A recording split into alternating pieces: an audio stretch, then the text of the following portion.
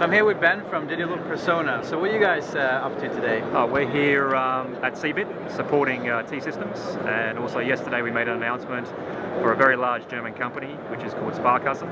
So Sparkassen is a big savings bank in Germany who's just announced using DigiPersona or T-Systems um, rebranded technology which is called BioID within all their savings and branching. So that's a big that's big news for us, okay. especially in the biometric world. So what do you actually produce or manufacture?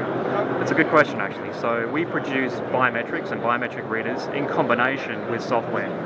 The reason why it's important to talk about this particular deployment within Sparkassen working with T-Systems is that biometrics particularly hasn't been deployed within large enterprises to the same scale as other types of technologies like tokens and passwords and, and type of uh, smart cards.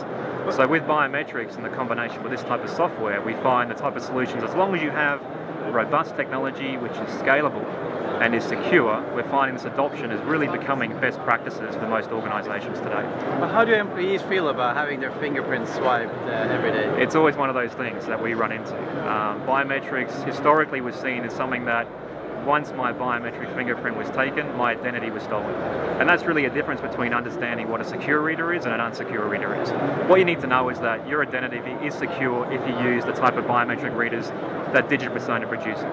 The second point as well is that when we typically deploy these type of solutions, the adoption rate is always successful. The reason being is that the usability of using biometrics or a fingerprint versus remembering a strong password or a token or a smart card or forgetting a smart card really operationally, from an efficiency perspective, outweighs it completely. And actually, the normal feedback that we get is from the IT, from the actual users, is that this is the first technology that the IT security department has given them that makes their job easier. So that's typically what we find. Now we're going to have a look.